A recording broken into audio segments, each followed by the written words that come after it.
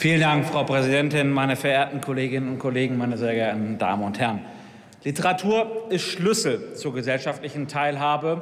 Und nur wer auch Zugang zur Literatur hat, hat somit auch einen umfänglichen Zugang an gesellschaftlicher Teilhabe. Diesen Anspruch verfolgt der Vertrag von Marrakesch. Diesen Anspruch verfolgen wir auch als Freie Demokraten. Aber diesem Anspruch wird der Gesetzentwurf leider nicht gerecht. Und deswegen können wir ihn auch nicht unterstützen.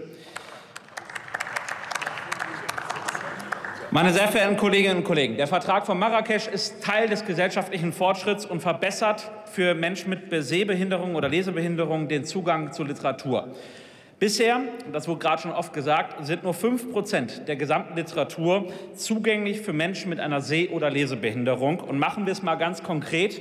Das sind allein bei der Deutschen Nationalbibliothek schätzungsweise dann 29,5 Millionen Werke, die nicht zugänglich sind für Menschen mit einer Seh- oder Lesebehinderung. Hier drin, meine Damen und Herren, sehen wir noch Chance und auch Aufgabe, das Leben für Menschen mit Behinderung zu verbessern.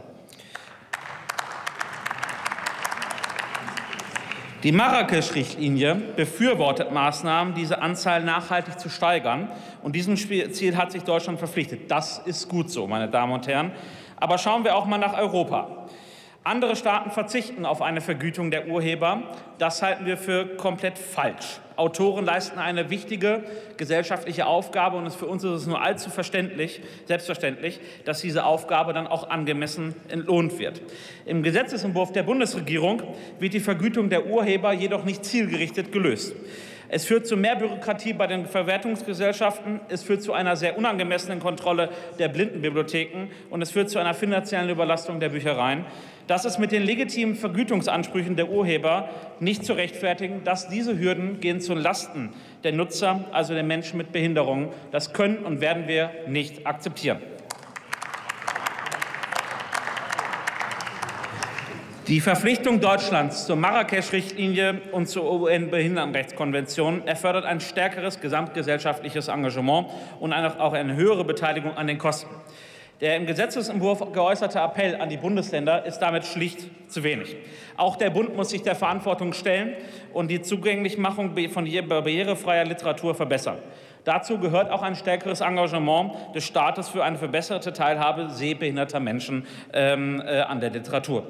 Wir Freie Demokraten fordern daher erstens eine, pauschale, eine jährliche Pauschalvergütung für die Urheber. Zweitens die vollständige Übernahme dieser Vergütung durch den Bund. Und drittens eine dauerhafte Förderung der Blindenbibliotheken ebenfalls durch den Bund. Denn nur so, liebe Kolleginnen und Kollegen, kann dieser Gesetzentwurf den Zielen gerecht werden. Nur so brauchen wir uns hier im Hohen Hause hinterher nicht dafür zu schämen. Nur so helfen wir den Menschen wirklich. Meine sehr verehrten Kolleginnen und Kollegen, Literatur ist Schlüssel zur gesellschaftlichen Teilhabe. Diesen Anspruch verfolgt der Vertrag von Marrakesch. Diesen Anspruch verfolgen wir als Freie Demokraten.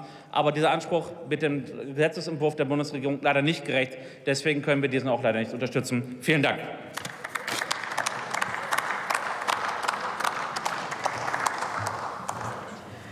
Das Wort hat der Abgeordnete Sören Pellmann für die Fraktion Die Linke.